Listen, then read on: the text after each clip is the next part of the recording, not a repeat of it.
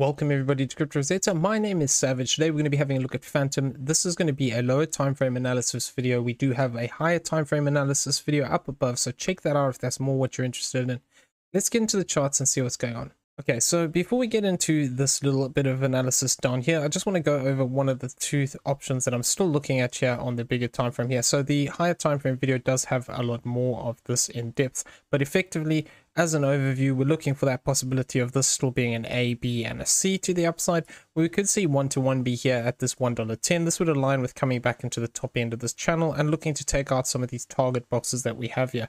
Another area of interest would be the 65.22, where we'd be looking for this to continue to hold these lows and effectively form a five wave move. Now this five wave move, we need to keep an eye on this A wave higher because this um, 0.618, which would be a minimum requirement for this C wave, is aligning quite nicely with this level. So I will be just keeping an eye on this if we do see price push into this zone as a possible rejection area. Now, the other way that we could look at this, that if this move is not completed to the downside here, and rather what we have is this is an X wave over here, we could see price still look to continue to the downside, where what we could say is that what we are forming here is a bigger A, B, and a C pattern, looking to actually come here and invalidate that idea of this move continuing to the upside in that C wave. Now, if we are looking at this, what we would say is that here we have this as WXY, and we're looking for a three-wave move up in the B wave. Now, common rejection area is this 51.55 to this 32.75. Now, we have come up into this zone already, so I'm just being cautious that this move here, even though it would be really small, we could still argue we have something like this. Um, it would be more likely, though, in my opinion, we see something more substantial if this is going to be a B wave, but there is always the potential we could just have a short B wave here, and then we could see the C wave start to develop to the downside. Now, one to one would be here at this 1061, given our current level that we are sitting at. And um, effectively, if we do break down here, I will be looking at this one-to-one -one as a potential target because it would come and align quite nicely with coming back into this lower channel. However, what we would also need to be aware of is that if we do see five waves here develop to the downside, what this could mean is that this B wave could be here and we could be starting to form this um, move to the downside as the C wave where this becomes a series of ones and twos over here and actually we look to just break down directly. Now this 0.618 is going to be a minimum requirement here and this is sitting at the 1630 this would also align quite nicely with coming back and retesting this bottom channel line. So going to be keeping an eye on that as time goes on. If this move fails to develop to the upside here we could still see this come down one more time here. Okay, so let's get into the smaller time frame analysis here. Now we are on the hourly and what I'm looking for is two ways at, at, looking at this structure currently. So we could argue that we have an impulse in the beginning of this move, in which case we would be expecting continuation to the upside. What we could see is that this is one, two, three, four, five as a diagonal pattern. Now, if this is the case, what we'd then be looking for is the possibility that this is A, B, and C here. Now, our one-to-one -one target is a little bit lower here towards this 25 cent region. And this would align with actually coming back a bit deeper here into this 2523 to this 2487 as this golden pocket. So if we do see price come down here one more time, what we want to see within this option is that if this is going to look to extend out, we want to hold this 2343.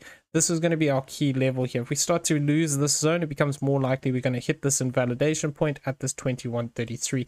Now, if we are looking at this move, effectively what we could be having here is this move could be wave one, two, and we're looking for this third wave. Third wave would potentially push us up into this 5139 as a third wave here, and then we get a fourth wave into this target box and then the possibility of continuation up in a fifth wave. So this would be looking to break to the upside from our current level. So this is valid for as long as we hold this level here, but I wouldn't want to see this move starting to get too much bigger than it already is because otherwise it starts to become very disproportionate to this move to the upside that we have. So if we are looking at this, effectively what we want to see is after this completes, we want to see this form. This is a wave one or an A wave three waves to the downside and then see that continuation. If we did move up into our target box here, then this green target box here between this 26.29 and this 34.76 would be looking for that potential of that continuation. If we started to lose this, we'd need to be careful that this isn't somehow a C wave over here. If we get a five wave move up, and then uh, we'd be looking for possibility to break down if we fail to hold this this uh, 26.29. Once you start to lose this level, breaking down becomes much more likely. So this is looking at this idea of this as an impulse. It is also possible, however, to count this correctively, where we could just argue this is WXY for an A wave, and what we're looking for is a B wave to the downside. Now, once again, the support zone is the same here. We've already come down into this 50%. We could potentially look to push down a little bit lower here towards this golden pocket area. So if we do see this play out, the idea would be the same here, except we wouldn't be looking for that higher 1618 target. What we could get is this is just ABC, and then we actually look to push up to this 121, which would be this 3922. Now, this is an interesting area because we do have these highs that are sitting in this zone, as well as that we do have this target box over here, which if I just turn on the contents has a daily naked point of control still sitting in this area. So wouldn't be surprising to see this move actually come up and look to sweep some of these zones if it's going to look to move up here one more time as a corrective structure and then look to possibly either break down or possibly find three waves down and just become a bigger corrective structure. So if we do get three waves up, doesn't mean that we have to break down to new lows here. What this could mean is that this just actually forms a three wave move down and then we just form a bigger corrective structure, which would fit into that idea of that B wave. So this is why I'm just keeping an eye on this in the shorter term here. We could still potentially see price look to push to the upside here if we are going to see either this develop as a corrective move up or an impulse to the upside. These both stay alive as long as we are above this 2133. Now what we need to be careful of here is there is another way of counting this structure to the downside and what we could say is that within this move here, if I come back onto the 4 hourly, what we could say is that this is an A wave, this is a B wave, and what we have here is that we still have a 5 wave move that needs another drop to it. So we are sitting within this fourth wave rejection area.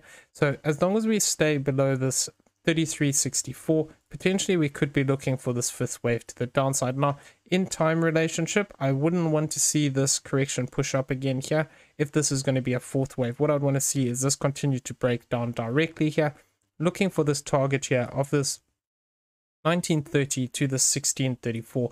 Now, we do have some targets which we've already hit here as a C wave. We have come down to this 1236 of the A wave already. And if we do look to push down deeper here, what I would be looking out for is the potential to come back down here, possibly into this 1382, which would be here at this 1908. So if we do see this develop where this is actually something like this, 1212, then we're forming a third, fourth, and a fifth, and then a fourth and a fifth, something like this, we could look for these lower targets here, where we could see price come back down into this 1930 to the 1634. So the key thing is here, Within this count, we would not want to come back up above this 3309. So if we are looking for this direct breakdown here, we need to see price start to fall off in a more aggressive way here, where we look at this fifth wave actually playing out. Now, what this would look like is something like this. And what we could see is that potentially this wave 2 could form here, where we get this as a 1, we get another 3 wave move up here, then we get a 3, 4, and a 5, something to this effect. All of the time, the invalidations would be this high. So this 3184 would be the invalidation for all of these um, impulses to the downside effectively. Now, if we are looking at something like this, what we could actually have is that this move here in itself could be another 1, 2, and possibly we don't get a big move up for this wave 2. What we could get is this is 1, 2, this is 1, 2, and then we see 3, 4, 5, 4, 5, and that pushes us directly down. So we're going to have to keep an eye on this 1618 level here, which would be this 2227. If we just see price start to break down directly to this level, what we could actually have is that this could be one, two, three, and they would be looking for fourth and a fifth wave from that point. The problem that I have is that if we do move down to this 1618 here, there isn't a lot of space for this wave four to develop, which typically looks to target out this level of this 2552. So if we do see a move down here, possibly what we could get is price could extend out deeper here pushing past this 1618 level and possibly moving towards this 2.618 level. So we're going to have to keep an eye on this lower zone.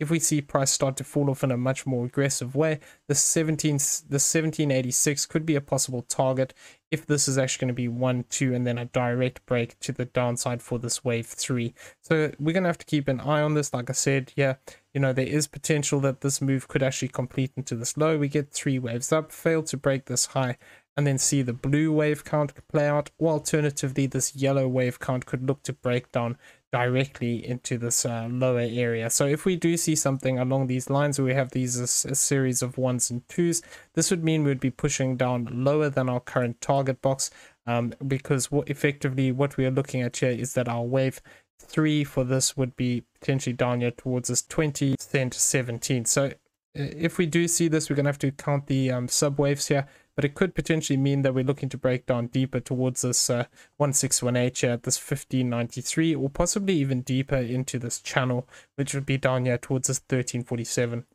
so really we want to invalidate this uh, if we're looking for that bullish potential we want to get see price move back to the upside and take these highs so we can look for that possibility of that continuation to the upside Okay, so coming in here and looking at the daily CPR, what we can see is that we are currently below these levels. If we do see price move back to the upside, we could potentially find resistance at this level of this 26.35 and this area here of this uh, 26.14. Alternatively, if we do manage to break above these, what we could see as possible targets would be this 27.13, we have this 27.86, we have this 28.77, and this level here of this 29.40 as possible targets to the upside for today. So if we do see price move up into these above these lines, possibly we could see that idea of having a rally. If, however, we fail to reclaim this zone, what we could see is price could be gravitated either back towards this 2554. We have downside targets for today also open at this 2469 2398 and this 2308 as possible downside targets for today. So this would align with the idea of actually seeing a bit more continuation to the downside here.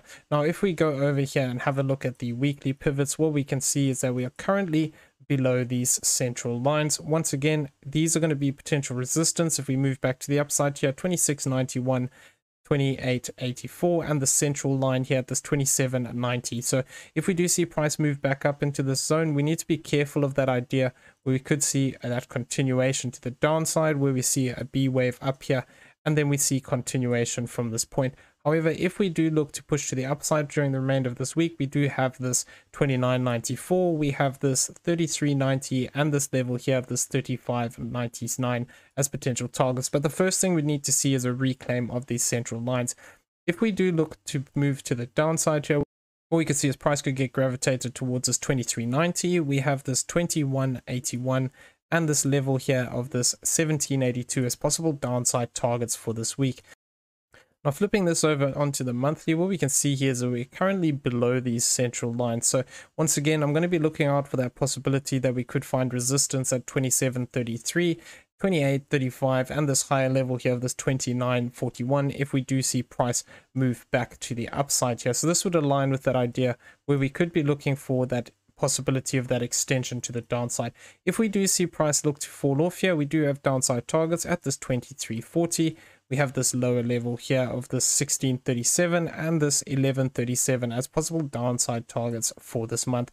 Now, as well as that, if we do, once again, uh, same as that bullish count within the weekly idea, if we do manage to reclaim these, possibly what we could see is a move up towards the zone of this 3542, this 40 cent 50 and this 47 44 as possible upside targets for this month so we're going to be keeping an eye on this these are, we don't always have to reach all of these targets, but these are just potential pivot points within the market if we do move into those levels. Okay, so I'm going to leave the video there. I hope you found it useful. If you did, please smash the like button, hit that subscribe button if you haven't already, turn on those bell notifications so you never miss a video. Leave us some feedback down below and also in the description you'll find a link to the Discord. Come check it out, it's free to join. Everyone have a great day. We'll see you in the next one. Take care.